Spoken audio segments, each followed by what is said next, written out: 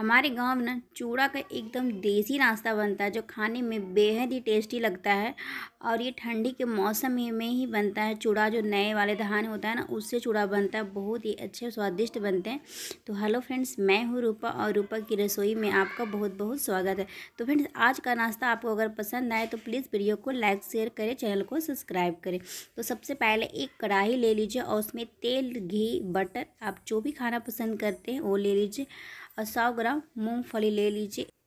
मूंगफली बहुत ही पौष्टिक और हेल्दी होता है और इस नाश्ते में बहुत ज़्यादा ही क्रिस्पी और टेस्टी लगता है। तो इसे रोस्ट करके निकाल लेना है, उसके बाद डालेंगे आधा चम्मच राई चटका कर डालेंगे उसमें हींग और तीखा अनुसार मिर्ची और एक बारीक कटा हुआ प्याज। इसे अच्छे से भून लेंगे।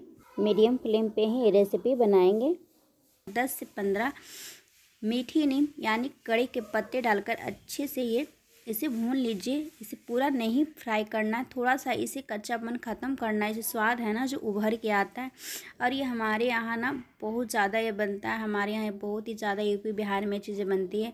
और ये हमने लिया है हरी मटर। हमने ढाई सौ ग्राम मटर को छील कर लिया है। और इसे भी हम भूनेंगे। आधा जो उसका होता है ना कच्चापन उसे ख़त्म कर लेना। और इसे ऐसे ही खाना, ऐसे भी हरी मटर ना ऐसे ही खाने में बहुत ही टेस्टी लगती है। इस नाश्ते में बहुत अच्छा कॉम्बिनेशन होता है। थोड़ा सा हल्दी पाउडर लीजिए और स्वाद अनुसार नमक, आधा नींबू को निचोड़ लीजिए ताकि इसमें खटास हो और खाने में बहुत ज़्यादा ये टेस्टी लगे और बहुत ज़्यादा ये हेल्दी भी रेसिपी है। और इसे अच्छे से भून लीजिए, जितना अच्छा इसमें भूनेंगे, थोड़ा सा इसमें ना क्रिस्पी रह जाती है, जो खाने में ना बहुत ही टेस्टी लगती है। बस इसी तरह से भूनना है। अगर आपको गाजर पसंद हो तो वो भी डाल सकते हो। गाजर, मूली, आलू भी काट कर अब ये हमने लिया ढाई सौ ग्राम चूड़ा। ये देहाती चूड़ा है और ये नए वाले चूड़ा है। इसे हमने दो तीन बार पानी से धो कर लिया है। पहले इसे साफ़ सुथरा कर लीजिएगा फटक कर, इसमें कुंडे निकलती है, उसके बाद ही इसे भूनिएगा। और इसे बस दो से तीन मिनट ही भूनना है और ये हमारा मटर का जो चूड़ा है ना, वो भून कर तैयार हो गया है। बहुत से लोग इसे पोहा भी बोलते हैं।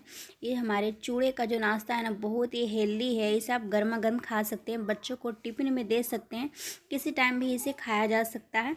और ये मूँगफली जिसे हमने तल के रखे थे फ्राई किए हुए, बहुत ही अच्छे क्रिस्पी लगते हैं खाने में। आप चाहें तो इसमें नारियल, काजू, पिस्ता, ये सब चीज़ें भी आप डाल सकते हो। यह एक हेल्दी नाश्ता बन के तैयार हो जाता है, पौष्टिकता से भरपूर है, कहे तो ये सेहत का खजाना अगर सुबह सुबह नाश्ते में लिया जाए या शाम को लिया जाए तो। और ये हमारे चूड़े का जो नाश्ता है ना, ये चार लोगों के लिए पर्याप्त है। इसे चार लोग में आप नाश्ता को दे सकते हैं। ये खाने में बेहद ही टेस्टी, स्वादिष्ट है, हेल्दी है, कम तेल मसालों से बना हुआ है। सारे लोग को दिन खाने के लिए गर्मा गर्मी से सर्व कीजिए। थोड़ा सा नींबू और मिर्ची साथ में रख लीजिए। खाने का स्वाद होता है, जो बढ़ा देता है। और इसे आप ज़रूर बनाइए नए चूड़े का रेसिपी। आपने पोहे से तो बहुत बार बनाया होगा तो आप देसी चूड़े से बनाइए। खाने में बेहद ये टेस्टी लगती है, स्वादिष्ट लगती है और रेसिपी अच्छा लगे तो फ्रेंड, फैमिली में इसे ज़रूर शेयर करें। आप इसे ना सर्दियों में ना ज़रूर बनाएँ। ये देखिए, बहुत ही खिली खिली बनती है और खाने में बेहद ये स्वादिष्ट लगती है, चटपटी एकदम लगती है।